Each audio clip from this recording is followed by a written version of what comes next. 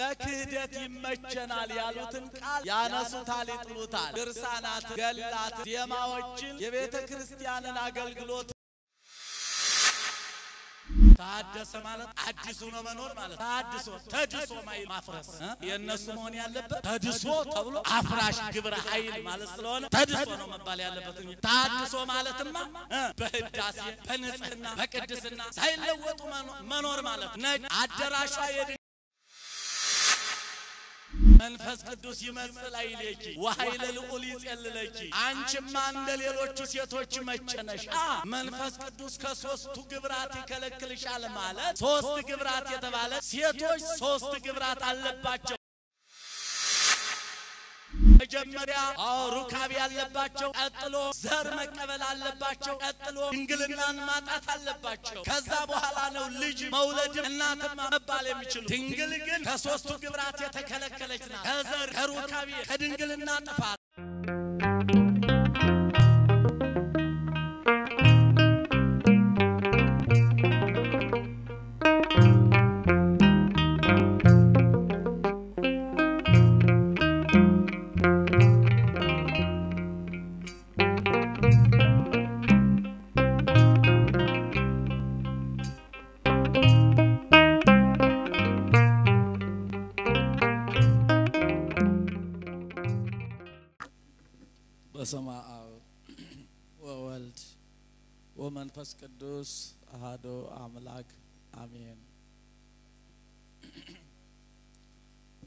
ቀደሰ ማኅደሮ ልዑል ልዑል እግዚአብሔር ማደሪያውን ለየ። መዝሙረ ዳዊት መዝሙር አርባ ስድስት ቁጥር አንድ ብፁዕ አባታችን አቡነ ዮሐንስ የማዕከላዊ ጎንደር ሀገረ ስብከትና የቅዱስ ሲኖዶስ አባል፣ ብፁዕ አባታችን አቡነ ሰላማ የምዕራብ ጎንደር ሀገረ ስብከትና የቅዱስ ሲኖዶስ አባል፣ ክቡር በኩረ ትጉሃን ዘራ ዳዊት የሀገረ ስብከታችን ዋና ስራ አስኪያጅ፣ ክቡር በኩረ ስዩማን አይንሸት ሞገስ እንዲሁም የሀገረ ስብከታችን ዋና ጸሐፊ ክቡር መልአከ ኃይል ዳዊት በቃሉ የዚች ታላቅ ካቴድራል ዋና አስተዳዳሪ፣ ክቡራንን የገዳማትና የአድባራት አስተዳዳሪዎች፣ ክቡራን ሊቃውንተ ቤተ ክርስቲያን፣ በዙሪያው ያላችሁ የክርስቶስ ቤተሰቦች ምእመናንና ምእመናት ወጣቶች ህጻናት ጭምር እንደምን አረፈዳችሁ? እንደምን ቆያችሁ? እንደምን አላችሁ? እግዚአብሔር አምላካችን በእኛና በመላእክት ምስጋና መመስገን ፈቃዱ የሆነ አምላክ ዛሬም ዘወትርም የተመሰገነ ይሁን። ቀደሰ ማኅደሮ ልዑል ልዑል እግዚአብሔር ማደሪያውን ለየ። ማደሪያው ድንግል ማርያምን ለየ ከማኅፀን እንግዲህ ዛሬ ይህ ዕለት ወላዲተ አምላክ ድንግል ማርያም ወደ ቤተ መቅደስ በብጻት መጣ የተሰጠችበት ድህነት በዚህ ሰዓት የተጀመረበት ምክንያቱም በባህሪያችን ጠፍተን ነበረና በባህሪያችን መልሰን እንድንድን ወይም በእኛ ባህሪ ጠፍተን ነበረ። በራሳችን ባህሪ እግዚአብሔር መልሶ እኛን ሊያድነን ስለፈለገ ወላዲተ አምላክ ድንግል ማርያም በነቢያት ሲነገርላት ከቆየ በኋላ ዛሬ ወደ ቤተ መቅደስ ስትገባ አማናዊቷ ቤተ መቅደስ የተባለችው ድንግል ማርያም በቤተ መቅደስ የምትቀመጥበት ጊዜው አሁን ነው ማለት ነው። ነቢዩ አስቀድሞ ሲናገር ቀደሰ ማኅደሮ ልዑል ልዑል እግዚአብሔር ማደሪያውን ለየ ነው። ማስተዋል ያስፈልጋል። አንጽሖ ስጋሃ ሀደረ ላይ ሊያ የሚል ቃል አለ። መጀመሪያ ዜማ መማር ያስፈልጋል። እንዲሁ አንዳንዶቹ ዜማ ወይ ወደ ዜማው ዓለምም አልመጡም። እንኳን መናፍቃን እንኳን ዜማ ሊያምኑ መጽሐፍ ቅዱሱንም አያምኑትም እና ለክህደት ይመቸናል ያሉትን ቃል ያነሱታል፣ ይጥሉታል። ድርሳናትን፣ ገላትን፣ ዜማዎችን የቤተ ክርስቲያንን አገልግሎት የሚሰጡ የታሪክ መጻሕፍትን አንቀበልም ይላሉ። መጽሐፍ ቅዱስም ብቻ ነው የምንቀበል በማለት ሲሉ ይገኛሉ። ለክህደታችን ይመቸናል የሚሉት ከሆነ ደግሞ ወደ ታሪክም ይገባሉ። ሲፈልጉ ደግሞ ወደ ዜማውም እንገባለን ይላሉ። ስለዚህ ቀደሰ ማሂደሮ ልዑል ልዑል እግዚአብሔር ማደሪያውን ለየ ሲል ንጽሕት ቅድስት አድርጎ ፈጠረ ማለት ነው። አንድ ሰው ለመጀመሪያ ጊዜ አንድ መልካም ሰው ሲታይ መልኩ በጣም የሚያምር ከሆነ ሴትም ትሁን መልኳ የሚያምር ከሆነ እግዚአብሔር እንዴት አድርጎ አንጽቶ ቀድሶ ፈጠራት? አቤት መልኩ አቤት መልኩ ይባላል አይደል እንዴ? መጀመሪያ እንደ ጭቃ ጨፈላልቆ ሰርቷት ነበር ማለት ነው። መጀመሪያ ሲሰራት ሲመርጣት፣ በቃ በአጠቃላይ ከእናት ከአባቱ ሲወለድ ከእናት ከአባቷ ስትወለድ መልከኛ ሁኖ መልከኛ ሁና ተወለደች ማለት እንጂ መጀመሪያ ድፍንፍን ያለች እንደ ጭቃ የተለሰነች ሁና ኋላ የተጠረገች ኋላ ያማረች ማለት አይደለም። ስለዚህ ቀደሰ ማሂደሮ ልዑል ቀደሰ ማለት ለየ ማለት ነው። ከአንስተ ዓለም ከሴቶች ለየ። ሴቶች ከአባት ዘር ከእናት ደም አዎ ከሁለቱም ይወልዳሉ። አባት አልቦ እናት እናት አልቦ አባት የለም በሰዎች በፍጡራን ዘንድ። የእመቤታችን ግን ከዚህ የተለየች በመሆኗ ምንም ሴት ብትሆን ምንም ከዘርአ ዳዊት ብትወለድ ከአንስተ ዓለም ከሴቶች የተለየች እንበለ ዘር እንበለ ሩካቤ የምትወልድ ምሳሌዋ ህትምት ምድር የሆነች አዳም የተገኘው ከህቱም ምድር ነው። አረል እንዲህ አዎ የአዳም እናትም አባትም አልነበረውም ከህቱም ምድር። አባቶቻችን ሲተረጉሙ አዳም ከህቱም ምድር ተገኘ፣ ከታተመ ከተዘጋ ምድር ተገኘ። ሔዋንም ከህቱም ገቦ ተገኘች፣ ወይም ከተዘጋ ጎን ከአዳም ቀኝ ጎን ተገኘች ይላሉ። ዝግ ነው። ከምድር ከዚች ከተዘጋችው ምድር አዳም ተገኘ። የድንግል ማርያም ምሳሌዋ የሚሆን ይሄ ብቻ ነው። ስለዚህ ያለ ዘር ያለ ሩካቤ የምትወልድ ሰማያዊ ንጉሥ ኢየሱስ ክርስቶስን ሰማይና ምድር የማይችሉትን ሰማይንና ምድርን በመካከል እጁ የያዘውን አምላክ ጸንሳ የምትወልድ በመሆኗ ለያት፣ ከሴቶች ለያት። ምንም ፍጡር ብትሆን ከነዚህ ፍጡራን ግን የተለየ ጸጋ ሰጣት ብሎ ቀደሰ ማሂደሮ ልዑል ማለት ልዑል እግዚአብሔር ማደሪያውን ለያት ድንግል ማርያምን ነው። አንጽሖ ሥጋሃ ቀዲሶ ኪሃ ሀደረ ላይ ሊሃ ይላል ቅዱስ ያሬድ። አንጽቶ ቀድሶ ሀሷ ሰው ሆነ ሲባል በመጀመሪያ ካለም መረጣት ማለት እንጂ መጀመሪያ ሌላ ሆና ኋላ መረጣት እያለ አይደለም። ማስተዋል ያስፈልጋል። አዎ ስለዚህ ብዙ ጊዜ ይሄን እያነሱ አንጽሖ ሥጋሃ ሥጋዋን አነጻ ቀደሰ ካለ ከዛ በፊት የሆነ ነገር ኑሮ ይሆናል በማለት መናፍቃን ሲያምታቱ ይታያሉ። ይህ አይደለም ቃሉ። ቀደሰ መጀመሪያ ለየ። ቅድም እንደነገርኳችሁ ድንግል ማርያምን ለያት። እንበለ ዘር እንበለ ሩካቤ መለኮትን ሰማይና ምድር የማይችሉትን አምላክ እንድትችል ለያት። ከሁሉ ልዩ አደረጋት ከመጀመሪያው ጀምሮ ማለት እንጂ መጀመሪያ ሌላ ችግር ኑሮ ኋላ ማለት አይደለም። እናስተውል። ስለዚህ ቀደሰ ማሂደሩ ልዑል ልዑል እግዚአብሔር ድንግል ማርያምን መረጠ። በጽሐ ሰናይ ወአልጸቀ ዘመን አለ ቅዱስ ያሬድ። ድህነቱ ከዚህ ስለሚጀምር አዎ ምን አለ? በጽሐ ሰናይ ወአልጸቀ ዘመን መልካም ነገር ደረሰ። ከዚህ በኋላ ድንግል ማርያም ወደ ቤተ መቅደስ ልትገባ ነው። ከአስራ አምስት ዓመት በኋላ መልአክ ሊያበስራት ነው። ከዛ በኋላ ስግው ቃል ኢየሱስ ክርስቶስ ከሷ ሰው ሊሆን ነውና በፀሐ ሰናይ መልካሙ ዘመን መጣ።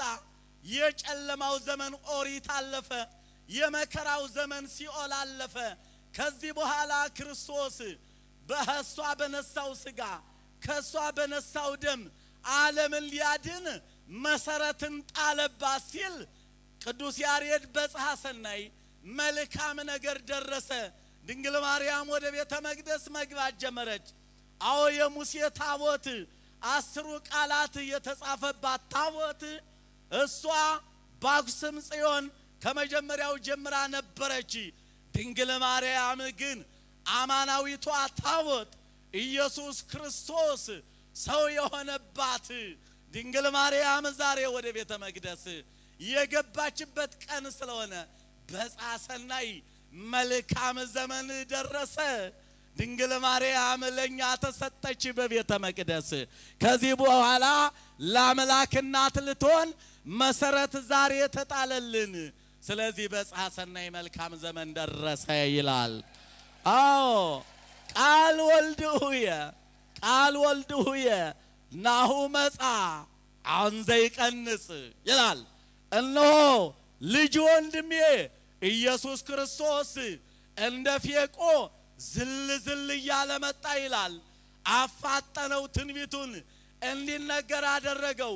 ኖህ በቀስተ ደመና እንዲገልጣት ድንግል እኮ ወላዲተ አምላክ እኮ እንኳን አምላክን ወልዳ ቃል ኪዳን ተሰጥቷት ማማለድ ይቅርና ድንግል ማርያም እኮ በምሳሌነት ዓለም የዳነባት እመቤት እኮ ናት። በቀስተ ደመና እሰይም ቀስትየ፣ አዎ በውስተ ደመና እነሆ በደመና ቀስቴን አሳያለሁ፣ አራት ህብር አድርጌ አሳያለሁ። ኖህን ዓለም ከጠፋ በኋላ ተመልሰህ የነን ዓለም ተካው፣ ሶስቱን ልጆች ይዘ ውጣ፣ የጠፋው ዓለም ይተካ ሲለው ኖህ አልወጣም፣ የኔ ልጆች አንተን ማሳዘናቸው አይቀርም፣ አንተም መፍረድህ አይቀርም። ስለዚህ እኔ አልወጣም፣ እዛው መርከቤ ላይ ይቀመጣለሁ ጌታዬ ባለው ጊዜ እሰይም ቀስትየ በውስተ ደመና። ከዚህ በኋላማ ቀስቴን በደመና አራት ህብር አድርጌ ያሳይሃለሁ። ነጭ፣ ቀይ፣ ጥቁር፣ ቢጫ ከዚህ መርጠው የሚወስዱት ቀዩን፣ ነጩን፣ ጥቁሩን ነው። ነጩ የአብ ቀዩ የወልድ ጥቁሩ የመንፈስ ቅዱስ አንድም ቀዩ ነጩ የጥምቀት አዎ ቀዩ የስጋው የደሙ እነሆ ጥቁሩ የደሙ ቀዩ የስጋው ማለት ነው። ይሄ ሲተነተንና ሲተረጎም ነጩ የአብ ጸዓዳ በመለኮቱ እንዲለው ቀዩ የወልድ ወቀይህ በትስብእቱ በአምሳለ ህብስት ተሰጥቶናልና። አዎ ጥቁሩ የመንፈስ ቅዱስ እስመ ነፋስ ጸሊም በአርአያሁ ደሙ ጥቁሩ የደሙ ምሳሌ ነውና፣ ስለዚህ አለ አብ ለማጽናት ወልድ በተለየ አካሉ ለመዋሃድ መንፈስ ቅዱስ ደግሞ ከሶስቱ ግብራት ለመከልከል አለ። አዎ በሶስቱ ሶስቱም በማርያም ከርስ ወይም በእመቤታችን ማኅፀን አደሩ አለ። አብ ለማጽናት ማለት መለኮትን ያህል ለመሸከም እንድትጸና ያለ ዘር ያለ ሩካቤ እንድትወልድ አብ አጸናት። ወልድ በተለየ አካሉ ተዋሃዳት። መንፈስ ቅዱስ ደግሞ ከሶስቱ ግብራት ከለከላት ነው የሚል። ውእቱ ሰንጹህ እምነ ሰለስቱ ግብራት ዘውእቶሙ ዘር ወሩካቤ ወሰስሎተ ድንግልና እለ ስሩዓን በእጓለ እመሕያው ወእሙራን ቦሙ ነው የሚለው። እነሆ መንፈስ ቅዱስ ዛሬ ሲዘመረው ያደረ ሉቃስ ወንጌል ምዕራፍ አንድ ተነስቶ ብቻ ሲነገር ያደረው መንፈስ ቅዱስ ይመጽእ ላዕሌኪ ወኃይለ ልዑል ይጼልለኪ አንቺማ እንደ ሌሎቹ ሴቶች መቸነሻ መንፈስ ቅዱስ ከሶስቱ ግብራት ይከለክልሻል ማለት ሶስት ግብራት የተባለች ሴቶች ሶስት ግብራት አለባቸው። መጀመሪያ አዎ ሩካቤ አለባቸው። ቀጥሎ ዘር መቀበል አለባቸው። ቀጥሎ ድንግልናን ማጣት አለባቸው። ከዛ በኋላ ነው ልጅ መውለድም እናትም መባል የሚችሉት። ድንግል ግን ከሶስቱ ግብራት የተከለከለች ናት። ከዘር ከሩካቤ ከድንግልና ጥፋት እናትም ሆና ድንግል ድንግልም ሆና እናት ናት፣ ወላዲተ አምላክ። ስለዚህ በቀስተ ደመናው ትርጓሜ ነጩ የአብ ቀዩ የወልድ ጥቁሩ የመንፈስ ቅዱስ የተባለው ነጩ አብ መለኮትን እንድትሸከም ለማጥናት ወልድ በተለየ አካሉ ለመዋሃድ መንፈስ ቅዱስ ከሶስቱ ግብራት ለመከልከል በድንግል ማርያም ማኅፀን አደሩ። ቀስተ ደመናዋ ድንግል ማርያም ዓለም እንዳይጠፋ በኖህ ጊዜ ገና በምሳሌነት ዓለምን አድናለች። ክብር ምስጋና ለእመቤታችን ይሁን። ስለዚህ እነ ሕዝቅኤል ይህን ነው ሲጠቅሱት የነበረው። አዎ ትንቢተ ሕዝቅኤል ምዕራፍ አርባ አራት ቁጥር አራት ላይ እነሆ ወሰደኒ ወሜጠኒ መንገለ አዝየብ ወደ ምስራቅ በኩል ወሰደኝ ይላል። እነሆ ሕዝቅኤል ነቢይ ኮነ ስማ በእንቲአ ወይቤ ርኢኩ ወህተ በምስራቅ ህቱም በአብይ መንክር ማሂተም ነው የሚለው። እነሆ በምስራቅ በኩል በድንቅ ቁልፍ የተቆለፈች አዲስ አዳራሽን አየሁ። ቀይ ጎልማሳ ሳይከፍት ገብቶ ሳይከፍት ሲወጣ አየሁ ብሎ ሕዝቅኤል የተናገረው አዎ አዳራሽቱ ድንግል ማርያም ናት። ሐዲስ አላት በተሐድሶ ጸንታ ትኖራለችና። ለመሆኑ ተሐድሶ ተሐድሶ የሚሉ አሉ። ምን ማለት ይሆን ተሐድሶ? ምን ማለት ነው እንዴ?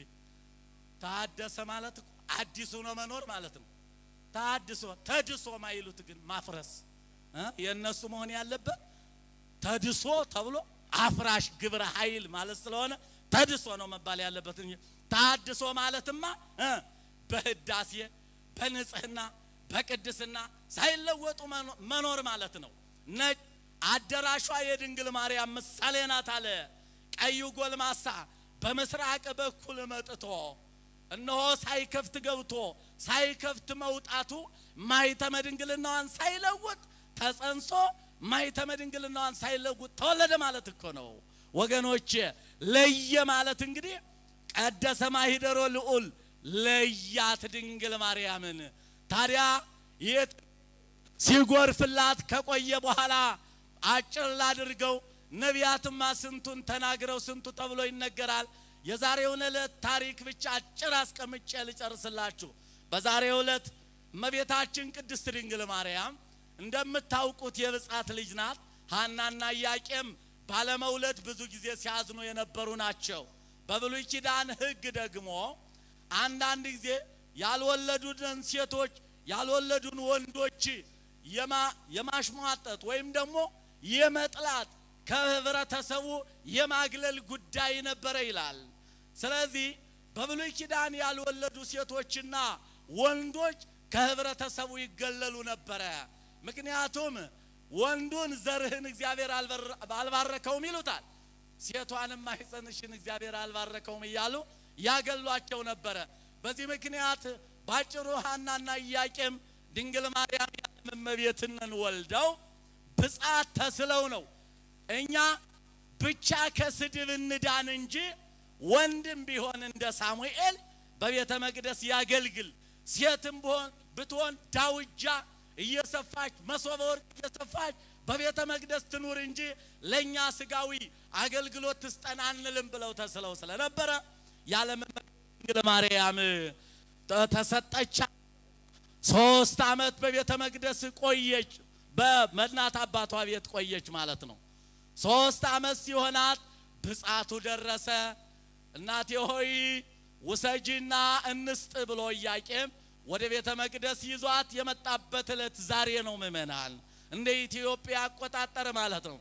በዚህ ሰዓት ወደ ቤተ መቅደስ ይዘዋት ሲመጡ ዘካርያስ ከቤተ መቅደሱ ነበረ። እንደናንተ ብዙ ሕዝብ ተሰብስቦ ነበረ። የብጻቷን ልጅ ለመቀበል ዘካርያስ ከቤተ መቅደሱ ነበረ። በዚህ ሰዓት ምን ልትበላ ነው? ምን ልትጠጣ ነው? እመቤታችን ለመሆኑ እስቲ እናስብ። አንድ ነገር አለ። ድንግል ማርያምን ሳያበላ ሳያጠጣ መኖር ያቅተው ኑሮ ነው የኛ አምላክ እና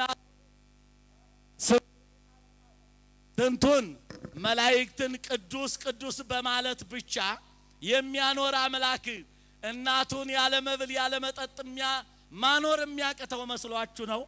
በኋላ ግን ከዘራ ዳዊት አልተወለደችም፣ አትበላም፣ አትጠጣም፣ ሰው አይደለችም፣ ምታት ናት የሚሉ ጠላቶች መናፍቃንን ለሚነሱ አምላክ ፍጹም ሰውን እንደወደደው እሷም ከኃጢአት ብቻ በቀር መቼም ቢሆን ሰው መሆኗን ለመግለጥ ለምልክት ነው ምግቡ እንዲመጣ የተደረገው እንጂ ድንግል ማርያም የአምላክ እናት እንደ መላእክት ዝም መኖር የሚያቅታት ወይም እሱ እናቱን ዝም ማኖር የሚያቅተው አምላክ ሆኖ አይደለም። እንደ ሰው ሰውኛው ግን እነሆ ከእናት ከአባቷ ቤት ወጣች። ከዚህ ቤተ መቅደስ ስትኖር ምን ትበላለች፣ ምን ትጠጣለች ብለው ሲያስቡ ሲያወጡ ሲያወርዱ በዛሬው ዕለት መልአኩ ፋኑኤል የተባለው ጽዋ ሰማያዊ ህብስት ሰማያዊ ጽዋ ሰማያዊን ይዞ በሰማይ ረቦ ለድንግል ማርያም ክብር በዛሬው ዕለት ታየ ይላል። ምእመናን በዚህ ሰዓት ዘካርያስ ከመብቃቱ የተነሳ መንፈቀ ህብስት ይለዋል። ግማሽ ህብስት ከሰማይ አዎ ለባሕታውያን ሲበቁ እንዳይመኩ ሰማያዊ ህብስትነን ያወርድላቸዋል። ዝም ቢላቸው መላእክትነን እንዳይሉ ነው። ስለዚህ ሰው መሆናቸውን ለመግለጽ ሲፈልግ ነው። እና ዘካርያስ ከመብቃቱ የተነሳ ህብስት ግማሽ ህብስት ከሰማይ ይወርድለት ስለነበረ ዘካርያስ በስውር ይሰጠኝ የነበረውነን ዛሬስ በይፋ በህዝብ መካከል ክብሬን ሊገልጠው ነው ብሎ እጁን ወደ ላይ ቢያደርግ አዎ ወደ ላይ ሰቀቀበት ነው የሚል ትርጓሜው። ሸመቀቀበት ቢላል ከፈለገ ወደ ላይ ሄደበት ማለቱ ነው። ወደ ላይ ሄደ። ስምዖን የሚባል ደግሞ የእሱ ተወራጅ ወይም ደግሞ ምክትል ሹምም እጁን ዘረጋ። አልሆነም፣ አልተሳካም። ይሄ ክብር ይህ ጸጋ ለድንግል ማርያም ነውና ሌሎቹም የበቁትነን ሁሉ እስቲ ሞክሩ ተባሉ። አልተሳካም። እንዲያውም መልአኩ ፋኑኤል ህብስት ሰማያዊውንና ጽዋ ሰማያዊውንን ይዞ በሐናና በኢያቄም በኩል ረቦ ታየ ይላል። ይሄ ክብር ለድንግል ማርያም ነው፣ ለእናንተ አይገባችሁም ማለት ነው። በዚህ ሰዓት ምን አሉ ሰዎቹ? ሐና ሆይ አሏት፣ ምናልባት መንፈስ ቅዱስ የሚያድርበት አይታወቅምና ለዝች ብላቴና የመጣ ድል ሊሆን ስለሚችል እስቲ ተያትና ፈቀቅ በይኝ አለቻት። አሏት ሰዎቹ።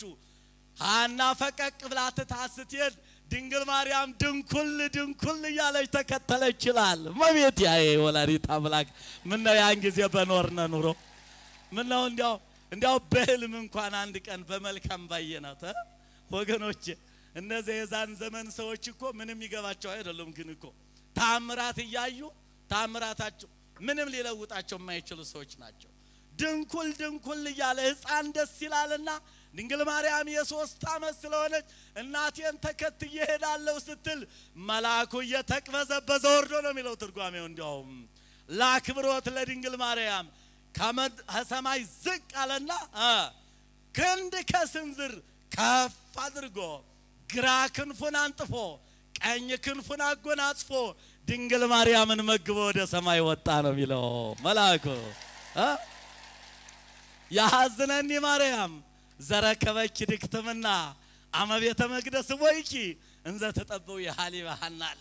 ለመጀመሪያ ያሐዝነኒ ማርያም አረል እንዴ አዘንኩ ከእናትሽ ወጥተሽ ስትመጪ ከጡት ተነጥቀሽ ስትመጪ አዝኜ ነበረ አለ ደራሲው። ምን አለ ወያስተፌሳሐኒ ካይበ ትምህርተ ልህቀትኪ በቅድስና ምስለ አብያጺሁ ከመ ዘይሴስየኪ መና ፋኑኤልን ጸጌ ነድ ዘይከድጅ ደመና። ደመናን እየጠቀጠቀ የሚመጣው ፋኑኤል ምስለ አብያጺሁ። የድንግል ማርያምን ምግብ ይዞ ሲመጣ መላእክት ለመለኮት እናት ለድንግል ምግቧን ይዘህ ስትሄድ ታጅበህ መሄድ አለብህ ተብሎ ምስለ አብያጺሁ ከጓደኞቹ ጋር ጽየነድ የእሳት የኢየሱስ ክርስቶስ አበባ ፍንጣሪ የእሳት ፍንጣሪ እሳት የሆነው ፋኑኤል አለ እንዘ ይሴስየኪ መና መናን እየመገበሽ በቤተ መቅደስ አስራ ሁለት ዓመት የኖርሽውን ኑሮ ደግሞ ወያስተፌሳሃኒ ካይበ ደስ ያሰኘኛል ይላታል ድንግል ማርያምን ማለት ነው። ወላዲት ታዲያ በዚህ ዕለት በክብር ወደ ቤተ መቅደስ ገባች። ከቤተ መቅደሷ አማናዊቷ ታቦት ቁጭ አለች። እንዳትጠራጠር አንዳንዶቹ ደግሞ እንደ ሳሙኤል የሚሉ አሉ። እንደ ሳሙኤል ሳሙኤል ማለት ግዙፍ ምግብ የሚበላ ለኛ የሚሰማን የሚሰማው እንደ ማንኛውም ሰው በቤተ እግዚአብሔር ተጠግቶ ለሰዎች የሚሰማቸው ስሜት የሚሰማው ሰው ነው። ድንግል ማርያም ግን ይሄ ሁሉ ሐሳብ በላች ጠጣች ስላልን የመለኮት ማደሪያ ናት። እንኳን በሷ እንኳን በሷ ማንኛውም ነገር ከሷ በታች የሆነው አዎ ያ ታላቁ የሶርያው ያ ታላቅ አባት ማን ነው? አምጡልኝ። አይደለም ያኛው እንጂ ሁለተኛው ባስልዮስ ነው። ባስልዮስ እኮ ከእሳትነቱ የተነሳ ሰው ከእሳትነት ደረጃ ሲደርስ የበላው የጠጣው እየቀለጠ መጥፋት ብቻ ነው። ወደ ሌላ መሄድ የለም። በውሃም መልኩ በሌላም መልኩ መሄድ የለም። ስለዚህ ድንግል ማርያም ተመገበች፣ በላች፣ ጠጣች ሲባል በሰው ሰውኛውን ማሰብ የለም። ድንግል ማርያም ምታት እንዳትባል ነው እንጂ አማናዊቷ ቤተ መቅደስ ከቤተ መቅደሷ ላይ ነው ቁጭ ያለችው። እንደ ኦሪቷ ታቦት ጽላተ ኦሪት ማርያም ጸዋሪተ ትእዛዝ አስር እሚደቅም ቃልኪ አሐዱ ነገር አለ ይቀልል እልፈቶሙ ለሰማዩ ምድር ነው። ያቺ አስሩን ቃላት የተሸከመችው ጽላት እንዳለች አንቺም ደግሞ የሕጉ ሁሉ የበላይ የሆነውን ጌታ በማኅፀንሽ ያዝሽ ነሽና አንቺ አማናዊቷ ቤተ መቅደስ አማናዊቷ ታቦት አንቺ ነሽ። ድንግል ማርያም ዛሬ በቤተ መቅደስ እየገባችበትና ቃል ኪዳን የተቀበለችበት ወላዲተ አምላክ። ከዚህ በኋላ ቀጥሎ ያለው እንግዲህ ታይሳስ ነው የሚተረከው። አሁን ወደ ቤተ መቅደስ መግባት ነው። ኋላ ደግሞ ታይሳስ የመወለዱ የብስራቱ ሌላው ሌላው ይተረካል። ጊዜ ስለሌለ ድንግል ማርያምን ለድህነት አምላክ ከሷ ሊጸነስ ወደ ቤተ መቅደስ የገባችበት ዕለት ነው። እንኳን ደስ ያለን። እሺ ለመምህራችን ቃለ ሕይወት ያሰማልን። ንቁ ኦርቶዶክስ ተዋሕዶ የጸሎትና የንስሐ መርከብ ማኅበር በወንድማችን የኔነ ተስፋዬ አስተባባሪነት በስድስት ዓመት የአገልግሎት ጊዜያት ውስጥ በርካታ ድሎችን አስመዝግበናል። የሚያከናውናቸው የነፍስ ስንቅ የሆኑ በርካታ ተግባሮች አሉ። አገልግሎታችን ጥንታውያን የተዘጉ አብያተ ክርስቲያናትን ማነጽ፣ ለክርስቲያን ወገኖቻችን የንስሐ አባትና ትምህርትን ማድረስ፣ በአዲስ አበባ ኮተቤ ለሚገኙ አቅመ ደካሞች እናትና አባቶቻችን ሕፃናትና ተማሪዎችን በቋሚነት በወር 20 ዶላርን እንደግፋለን። በዚህ የችግር ቀን ከ450 በላይ ከሆኑ ኢትዮጵያውያን ጎን ቆመናል። በገጠር የሚገኙ ጥንታውያንና ታሪካውያን ገዳማትን ሁለገብ ድጋፍ በማድረግ ራሳቸውን እንዲችሉ በማድረግና የአብነት ትምህርት ቤቶችና ተማሪዎችን የወንዝ ሙላት፣ የበረሃ ጉዞ፣ የመንገድ መደርመስ፣ ዝናብና ብርድ ሳይበግረን ገዳማትን እያነጽን የአብነት ተማሪዎችን እየደገፍን መነኮሳት አባቶቻችንና እናቶቻችንን እየረዳን እንገኛለን። በንቁ ኦርቶዶክስ ተዋሕዶ የጸሎትና የንስሐ መርከብ ዋትሳፕ ማኅበር ላለፉት ስድስት ዓመታት በአሜሪካ፣ በካናዳ፣ በአውሮፓ፣ በአውስትራሊያ እንዲሁም በአረብ ሀገራት የሚገኙ ክርስቲያን ወንድም እህቶቻችን ቤተሰቦቻችን ቤተ ክርስቲያንና የንስሐ አባት በማጣት ለሚቃጠሉ የንስሐ ትምህርቶችን በማቅረብ የንስሐ አባት በማገናኘት እንዲሁም የህብረት ጸሎት እንዲያደርጉ በማድረግ ላይ እንገኛለን። ወደፊትም ከዚህ በበለጠ አገልግሎት እንተጋለን። በማህበራዊ ሚዲያ በይበልጥ በንቁ የጸሎትና የንስሐ መርከብ የዩቲዩብ ቻናል ትምህርተ ወንጌል ለዓለም እንዲዳረስ በማድረግ በዓላትን በማስተላለፍ ገዳማትን በማስጎብኘት ይበልጡኑ የቅዱሳን አባቶቻችንን ተጋድሎ ዜና በማድመጥ በረከት በማግኘት በየቀኑ መጽሐፈ ስንክሳር ለእናንተ ይቀርባል። የእናንተን የውድ ቤተሰቦቻችንን ፍላጎት በመረዳት በቅርብ ቀን አዳዲስ ወቅታዊና ሕይወትን የሚፈትሹ ስብከቶችን በየሳምንቱ በቋሚነት የምናቀርብ መሆኑን እያበሰርን ለዚህ ሁሉ ዘርፈ ብዙ አገልግሎት መሳካት ያለ እረፍት በማስተባበር የምትደክመው የኔነህ ተስፋዬ ወይም ወልደ ገብርኤል ከዚህ በላይ በአገልግሎትህ እንድትተጋ መጠራትህና መመረጥህን እያሰብክ ብዙዎችን ወደ ቀና መንገድ እንድትመራ አደራ እንልሃለን። ንቁ የጸሎትና የንስሐ yaa Waaqa ኮሲፍ ገለታ በራን እንዳንገኦ ኦልፊኔፍ አንጎንኬ ኤሌሌ ሲፋርሳዳ ፈርዴ ፉለኬ